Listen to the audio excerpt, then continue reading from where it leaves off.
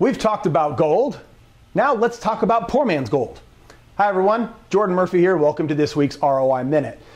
While many investors of commodities like to focus on the precious yellow, silver has made headlines recently after an 84% run up in 2010, followed by four months when it outpaced gold.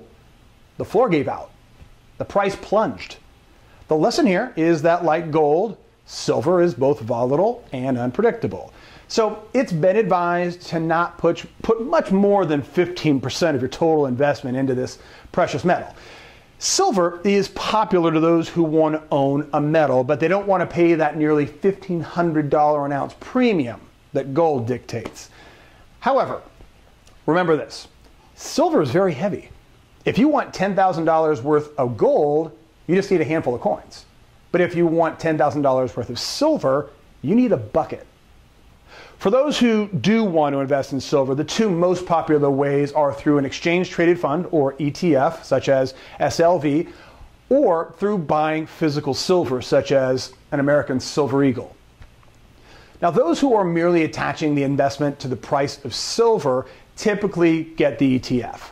However, others who use the investment as a hedge against inflation and envision a financial catastrophe are often advised to hold on to the physical silver.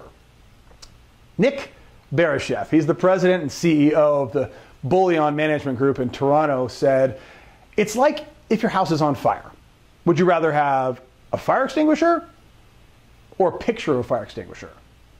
To find out more about silver, be sure to check out the article written by ROI Catalyst co founder David Morrill at ROICatalysts.com. And be sure to follow us on Facebook and on YouTube. Thanks, everyone. See you again next time.